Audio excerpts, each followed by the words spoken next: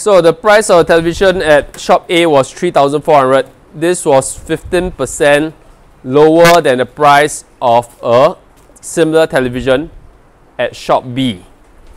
What was the price of the television sold at shop B? So when it comes to assigning 100 units, which should I assign 100 units to shop A or shop B, Jack?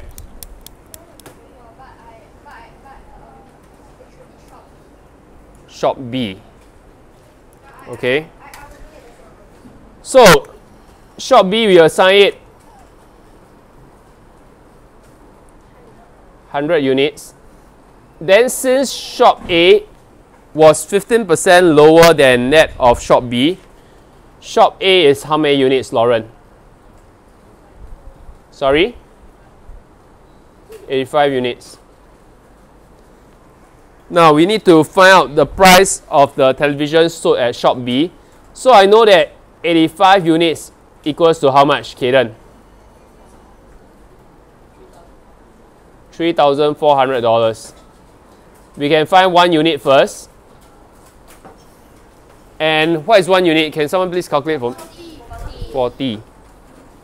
$40. And since we need to find the price of television sold at shop B, shop B is 100 units, right? Okay, will be $4,000. So the first part is quite easily done. Okay, you're going to write down uh, ANS part A. It's actually $4,000. Now it comes to part B. Part B is the part that is actually tougher. Okay. During the Great Singapore sale, both shops gave the same discount for the sale of the television. Right? Then the discounted price of the television at shop A was $489 less than that of shop B. What was the percentage discount given by shop, both shops. Okay, you only know the difference in price, discounted price, yeah. but they they never tell you the percentage discount, right? Yeah. Okay, all they are telling you in the question is that both shops they enjoy the same percentage discount. When I say the same percentage discount, what I meant is that if shop A offers 10% discount, shop B also offers 10%. 10%. Okay, that's what they mean. Okay, but we do not know the percentage right now. The only thing we know is that after the discount, okay, after the percentage discount, the television at shop A costs $489 less than that of shop B. So how do we solve this question? Okay, in order to solve this question, let me uh, give you a simple example. Okay, a very simplified example, right? Now, let's say if I have, this is not related to the question, I have two shops, X and Y. Okay?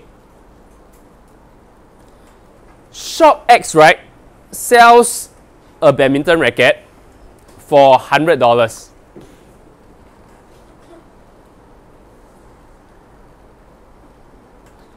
And shop Y, right, sells the same badminton racket, but shop Y sells it at $80. Correct? Okay. What's the difference in the price between both shops? It's actually $20, right? So far so good? Now, I show you both shops, right, enjoy a 10%, uh, actually both shops offer a 10% discount during a sale. Both shops offer a 10% discount during a sale. So after the 10% discount, how much does Shop X sells the badminton racket for, Leroy? $90. Then how much does shop Y sells the badminton racket for uh, Elliot. $72.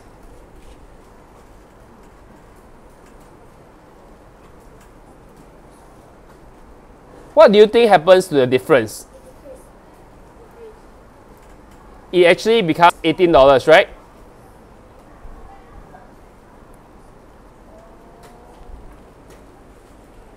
At first, the difference in price, original price uh, is $20. Both shops enjoy a 10% discount. Both shops enjoy a 10% discount. Can you see? Okay. And then the difference became $18.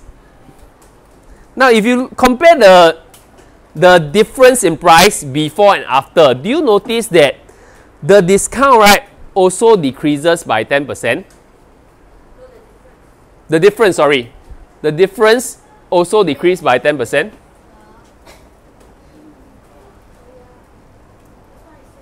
Okay? So, how is this example helpful in solving your question? Colin yes?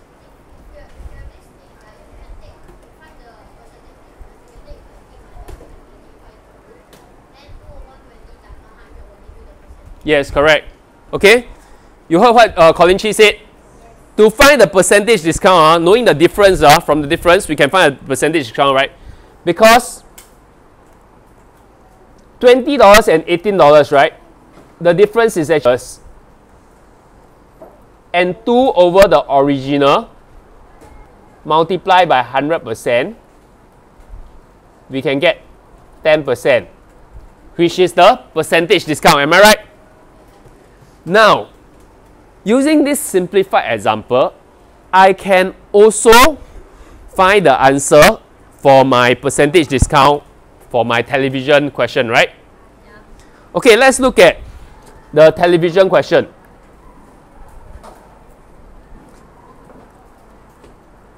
Television question, right? A and B. Shop A initially sells for how much? How much is three thousand four hundred dollars? Shop B sells for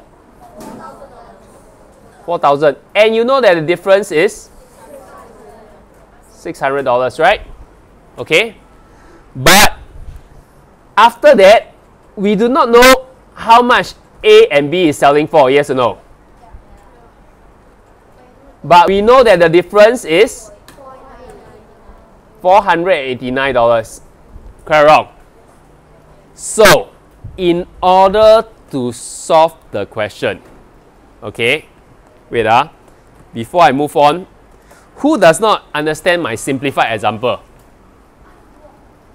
Who does not understand the example for x and y?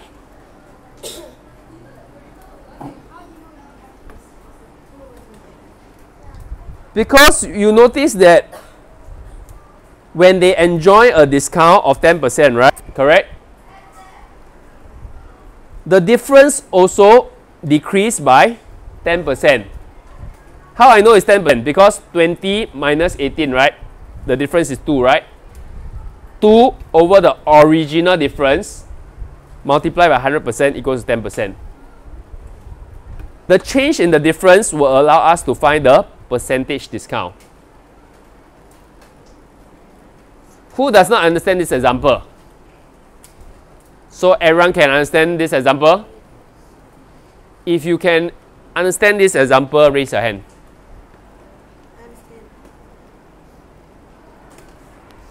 Okay, please put down your hand.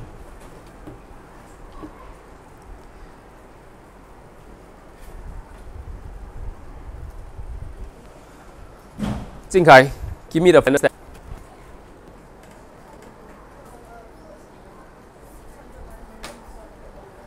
Okay, 600 minus 489.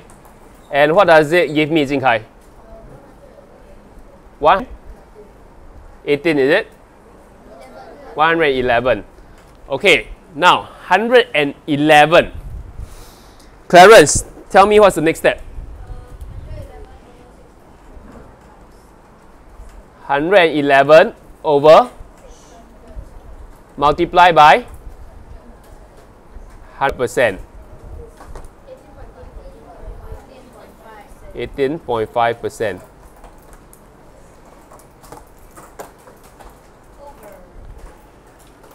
Who does not understand this question?